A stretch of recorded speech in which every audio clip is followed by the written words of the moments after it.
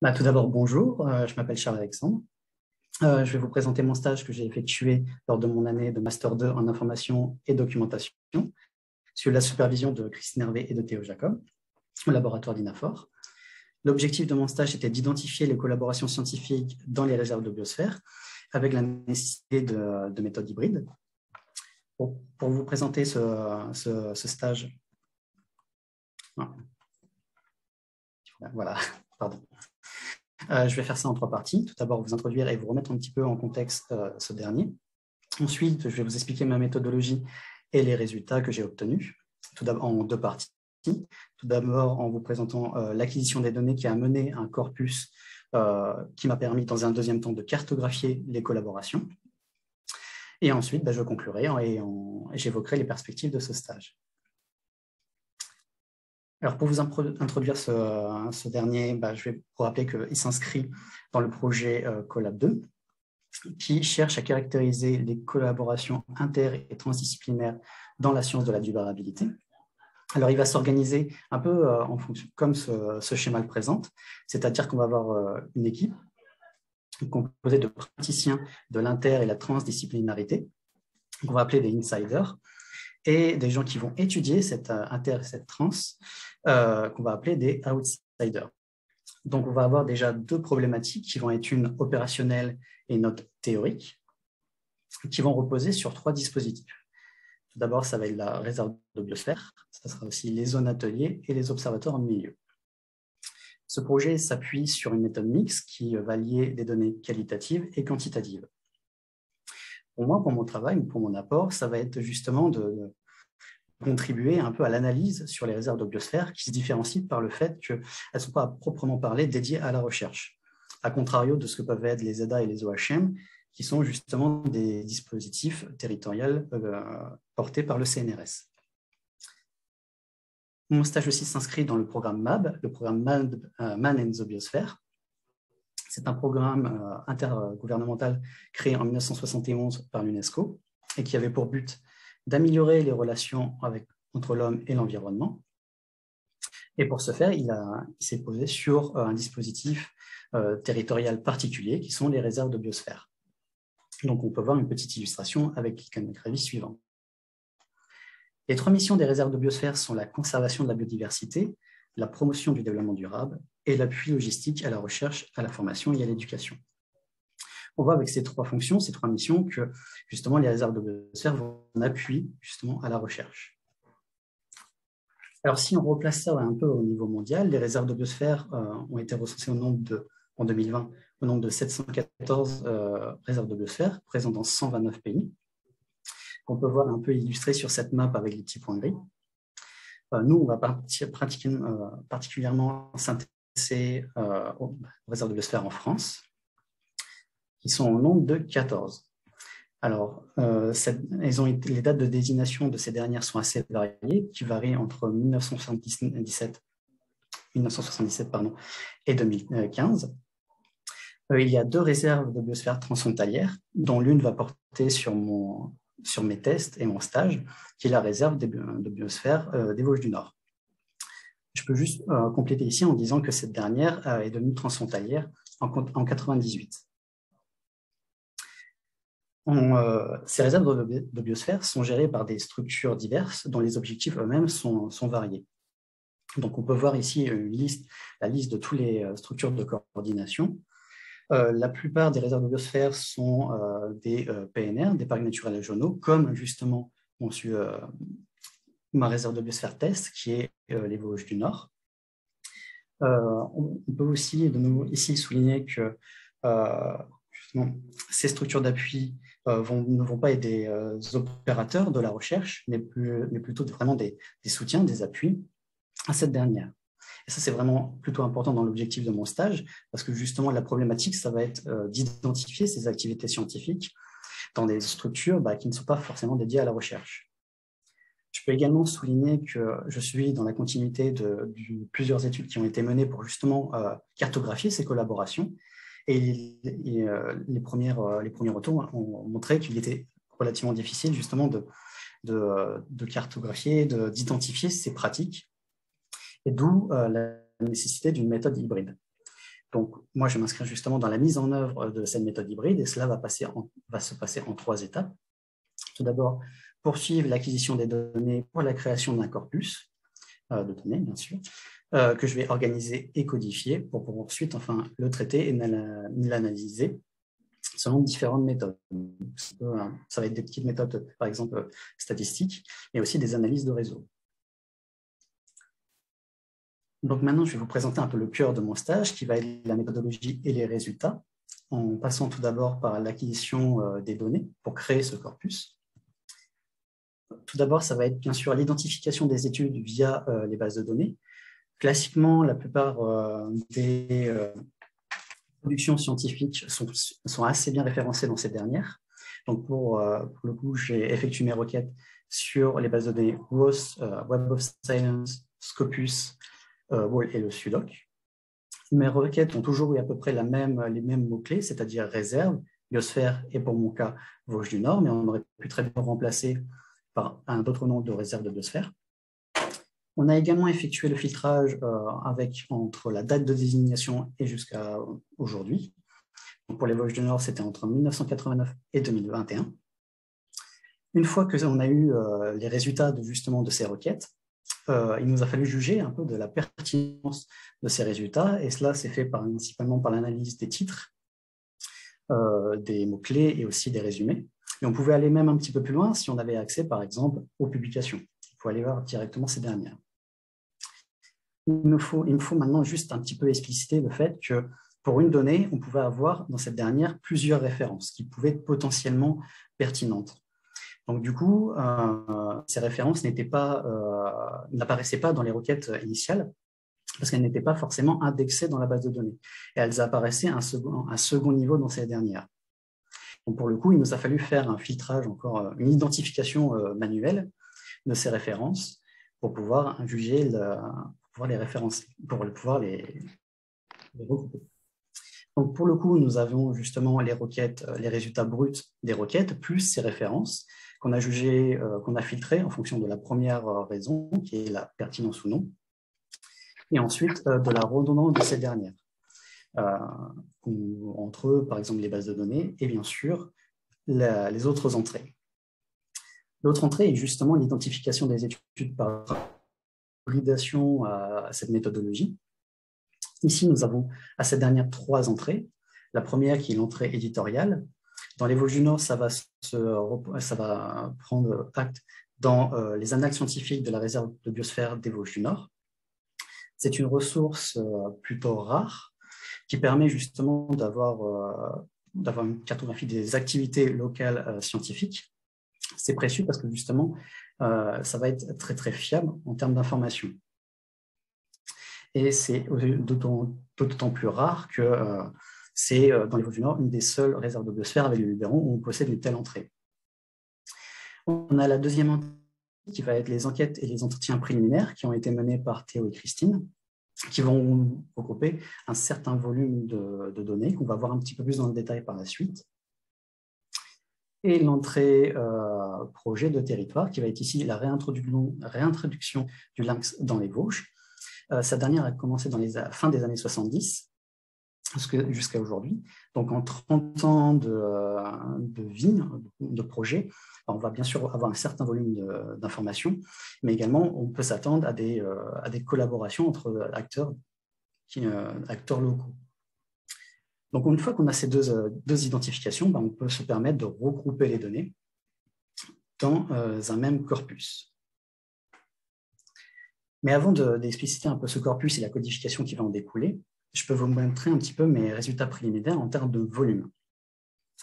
Donc, on voit dans ces premiers résultats qu'il y a que euh, la majorité des informations que l'on a viennent justement des trois nouvelles entrées qu'on en a choisies, avec une forte euh, disparité. Hein. On est quand même à 49 données euh, récupérées sur les bases de données, contre 415 sur, les autres sources. Donc, on a une disparité environ de 8 à 9 fois hein, supplémentaires. Donc on voit là directement que la méthode hybride nous permet d'avoir beaucoup plus d'informations hein, et on peut juste un petit peu euh, parler de l'identification via les bases de données où notre principale source d'information était Scopus. Et malgré, par exemple, 49 données qui semblaient pertinentes, après filtrage, on n'en a eu que 43. Et donc, au final, le corpus qu'on a pu établir regroupait 464 données par cette méthode hybride. Je vais juste faire un dernier petit point justement sur ces résultats en termes de typologie de documents. Quand on est sur les bases de données euh, classiques, on va principalement avoir des articles et de façon euh, très très ponctuelle, par de temps en temps des petits rapports ou des ouvrages ou des thèses, alors que sur les autres euh, sources d'information, on va être sur des résultats beaucoup plus hétérogènes, avec bien sûr des articles, des mémoires, des ouvrages, mais on peut aussi très bien avoir ce que j'ai classifié de autres, c'est-à-dire des supports de communication ou des conférences paper. Alors maintenant, je vais passer à la cartographie des collaborations, à la méthodologie et à ses résultats. Mais avant ça, il va falloir parler de la codification. Pourquoi on établit une telle codification euh, sur, sur ces données? Bah, Parce que principalement, nos informations ne viennent pas justement des bases de données et ne sont pas structurées. Et ce manque de structuration bah, va nous rendre très complexe la tâche euh, d'analyse euh, des données. Si on s'était juste euh, cantonné à l'entrée bibliométrique classique, on aurait pu utiliser des outils euh, développés par la communauté scientifique pour pouvoir les exploiter, comme par exemple euh, ici avec l'outil VoxHoover. Il s'agit ici d'une exportation des 43 données pertinentes de Scopus qui nous a permis de voir les co-auteurs justement sur, ces, données. On voit ici des réseaux qui, apparaissent un peu à, droite et à gauche. Je vais revenir un petit peu plus en détail euh, par rapport à cette, analyse. Mais euh, je vais juste préciser ici que cette, euh, exportation est certes pertinente, mais va être partielle, c'est-à-dire qu'elle ne va pas vraiment refléter la réalité des choses. Donc, par conséquent, il va nous falloir justement codifier ces autres données qui, qui ne viennent pas des bases de données. Et pour ce faire, euh, on, a établi une codification sur deux points. Tout d'abord, le premier qui va être les dispositifs. Donc, pour notre cas, ça va être les réserves de biosphère. Qui va, après, ça va être le site. Pour mon cas, ça va être les Vosges du Nord. Ensuite, ça va être l'année où la donnée a été produite. Ensuite, le type de publication, ça peut être par exemple justement la typologie que j'ai évoquée précédemment, qui va être les ouvrages, euh, un article, une thèse ou un mémoire. On a la catégorie revue, si c'est justement un article. Ensuite, on a les auteurs, autrices, les titres et les mots-clés, un peu ce qu'on peut retrouver dans une indexation sur une base de données, hein, assez classique. Ensuite, on va juger si cette donnée est interdisciplinaire ou non. Et bien sûr, quel type, à quel type cette interdisciplinarité appartient. Mais ça, on va voir, je vais euh, voir ça un petit peu plus en détail par la suite. Ensuite, on va faire pareil sur la transdisciplinarité et les catégories d'acteurs euh, que, cela peut mettre en jeu. Et on va dire si la, publication est internationale ou non. Et si oui, quels sont les pays impliqués. En termes d'interdisciplinarité, euh, dans le projet Lab, on euh, l'a défini de la façon suivante. Ça consiste à faire travailler ensemble des personnes provenant de champs disciplinaires académiques différents pour pouvoir répondre à des objectifs communs. Pour cela, bah, il nous a fallu déjà décrire de grands champs disciplinaires on peut simplifier euh, la tâche. Et donc, on a codifié cela euh, de la façon suivante. Tout d'abord, les SHS, les sciences humaines et sociales, les SF, les sciences formelles, les sciences appliquées du vivant. Donc, du coup, par conséquent, avec ces catégories d'interdisciplinarité, on va avoir des typologies particulières qui peuvent se regrouper dans le tableau suivant. Donc, on va avoir des interdisciplinarités, euh, on va dire, euh, éloignées, comme peuvent l'être par exemple les SHSA, SA et les SHSSV. Mais on va avoir d'autres euh, interdisciplinarités rapprochées, comme peuvent l'être les SAS, pardon, et SAS, qui peuvent s'illustrer, par exemple, avec de la géographie qui va se mêler avec la sociologie ou encore euh, une interdisciplinarité SVSV, euh, rapprochée encore une fois, qui va euh, illustrer un petit peu les rapports géosciences et biosciences. En termes de transdisciplinarité, on va encore une fois la définir de façon précise. elle va se traduire par le partenariat entre les acteurs scientifiques et des acteurs non académiques afin de résoudre des problèmes communs. Encore une fois, on a catégorisé, codifié en fonction de grandes catégories d'acteurs, qui sont les suivantes. acteurs et actrices de la recherche, par exemple les chercheurs, chercheuses ou ingénieurs ou techniciens, les gestionnaires de l'environnement, des ministères, services, des professionnels du secteur primaire comme les agriculteurs, des associations, d'usagers autour de la nature, comme par exemple les associations de chasseurs ou de pêcheurs, les associations à vocation environnementale, les entreprises entièrement privées, les citoyens, euh, les collectivités locales, les bureaux d'études, les entreprises publiques et d'autres associations. Un peu comme dans euh, l'interdisciplinarité, on va retrouver des transdisciplinarités euh, rapprochées, comme peuvent l'être par exemple les acteurs et actrices de la recherche avec des gestionnaires de l'environnement. Mais on va retrouver d'autres éloignés, comme pourraient l'être les actrices et acteurs de la recherche, encore une fois, avec des collectivités locales bien sûr, il va, il va y avoir plusieurs interactions possibles et on va voir ça un peu plus dans le détail, justement dans les résultats que j'ai obtenus. Donc, par conséquent, euh, avec euh, cette codification qu'on peut mettre en valeur ici, avec une architecture de base de données un peu précise, ça va tout d'abord avoir une table euh, de publication ou de données où on va reprendre justement une codification avec les dispositifs, sites, années, etc. On va avoir aussi une table auteur où on va lister tous les auteurs ou autrices qu'on a rencontrés justement dans ces données. On va bien sûr attribuer un ID, le nom, prénom et euh, différentes affiliations s'il en a rencontré plusieurs au cours du temps. Il bien sûr. Et après, on va référencer euh, les mots-clés. C'était une volonté pour après les rattacher en fonction des publications. Nous avons deux relations qui écrire et définir qui vont nous permettre, comme par exemple pour les auteurs et autrices, de pouvoir lier ces derniers euh, à une publication et ensuite justement de pouvoir les lier entre eux pour pouvoir analyser après les réseaux de co-auteurs. Ensuite, justement, bah, avec euh, cette codification, on peut mettre euh, en évidence certains résultats. tout d'abord, ça va être justement les résultats en termes d'interdisciplinarité et de transdisciplinarité. On était sur un corpus de données à ce moment-là de 389 euh, euh, données. Donc, nous avons ici, euh, sur ce corpus, 60 données interdisciplinaires et 100 données transdisciplinaires, ce qui représente respectivement 13,46% et 26,24% du corpus total. Ensuite, on peut parler un petit peu justement des, résultats sur les typologies d'interdisciplinarité on va avoir une première donnée qui ne va pas être totalement surprenante, qui va être euh, juste 31,57% euh, d'interdisciplinarité SVSV, euh, qui va être une interdisciplinarité rapprochée. Cette donnée nous vient principalement bah, des bases de données et de l'entrée éditoriale. Cependant, on va avoir l'interdisciplinarité SVSV-SHS qui va regrouper 57,89%, et si on l'associe 7,01% de SV et SHS, on voit qu'on a un total de 65% alliant justement les sciences humaines et sociales aux sciences du vivant. Ensuite, si on passe justement sur la transdisciplinarité euh, et aux typologies qu'on a rencontrées, on a euh, la première valeur qui, elle, non plus n'est pas très surprenante, qui va être de 24% de chercheurs et de gestionnaires. Euh, je dis que ce n'est pas très surprenant dans le sens où justement la plupart du temps, les personnes ont les mêmes cursus universitaires. Et cette donnée nous vient principalement, encore une fois, bah, des bases de données et, et euh, excusez-moi, et de l'entrée éditoriale.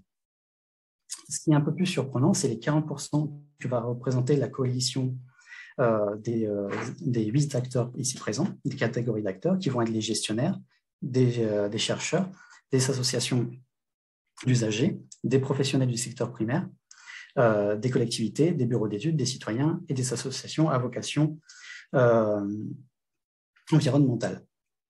On voit ici avec cette transdisciplinarité, euh, rapprochée que quand même, justement, la méthode hybride a un véritable apport parce que justement, cette donnée nous vient de l'entrée projet, projet territorial, c'est-à-dire la réintroduction du lynx.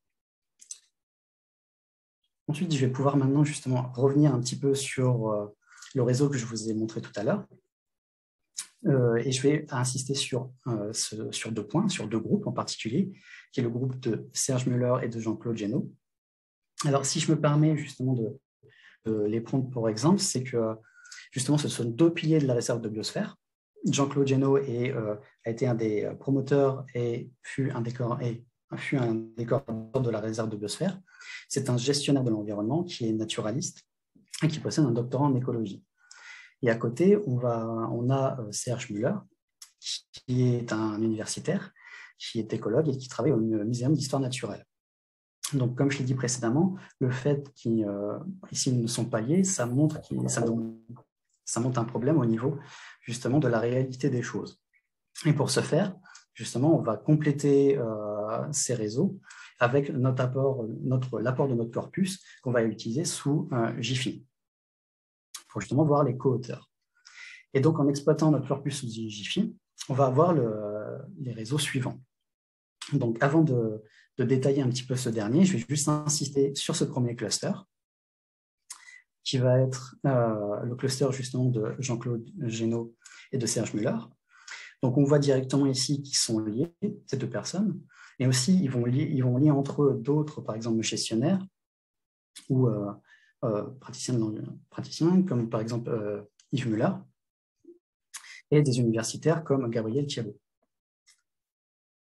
Si on revient justement au schéma global, on a bien sûr ce, cluster de Jean-Claude Génaud et de Yves mais aussi un cluster qui va venir principalement des informations issues du Lynx. On va avoir d'autres petits groupes qui vont se former euh, à droite et à gauche, qui vont être des personnes qui vont euh, travailler la plupart du temps ensemble. Mais si on, euh, on incrémente encore un peu des données, ils peuvent être attachés à d'autres personnes, euh, que ce soit dans des clusters ou dans le nuage euh, de, données centrales. Concernant justement ce nuage de, personnes centrales, avec la spatialisation que j'ai mise sous GFI, en fait, les personnes qui vont s'éloigner un peu du centre de ce nuage auront plus de chances justement d'être interconnectées avec d'autres personnes et a fortiori d'autres groupes, d'autres clusters. Du coup, pour conclure, euh, je vais juste dire qu'on a véritablement un apport des données issues de cette méthode euh, qualitative. On peut rappeler le travail de fourmi qui a été justement les enquêtes et euh, les, entretiens qui ont permis d'avoir un certain volume de données qui furent pertinents, justement, qui ont appuyé les résultats. Ensuite, on a une méthode hybride qui a permis justement, encore une fois, d'augmenter ce volume d'informations et qui a permis justement de faire ressortir des formes d'inter et de transdisciplinarité éloignées, nous confortant un, peu aussi de la présence de la science de la durabilité dans les réserves de biosphère. Cette hybridation nous a permis aussi également de faire ressortir une certaine visualisation des activités scientifiques qui s'inscrivent pas seulement dans les projets de recherche, mais également dans des projets de territoire impliquant des chercheurs de façon plus générale. Et par conséquent, je vais terminer par mes perspectives de stage et de fin de stage, qui vont contribuer tout d'abord à poursuivre l'étude des, Vosges du Nord, euh, phase rôle. Et par ça, j'entends principalement bah, justement terminer la codification des données que, nous possédons. Nous pourrions aussi encore incrémenter par d'autres données que l'on chercherait, mais c'est un peu une quête sans fin. Ensuite, ça serait de compléter et développer la base de données, justement pour faire euh, ressortir un peu les différentes affiliations que, les liaisons entre les affiliations qu'on pourrait faire euh, ressortir via justement les différents acteurs et actrices euh, que nous avons déjà vus. Ce serait aussi l'occasion de mettre en, relation les différents mots-clés et pourquoi pas aussi, idéalement, de, faire ressortir des co-citations. Et enfin, ce serait de trouver euh, cette méthodologie d'hybride sur une autre réserve de biosphère, comme par exemple la réserve de biosphère de Camargue, qui ne possède pas la même structure, structure de coordination, n'a pas d'entrée éditoriale, mais possède un centre de documentation. Voilà, je vous remercie pour votre écoute.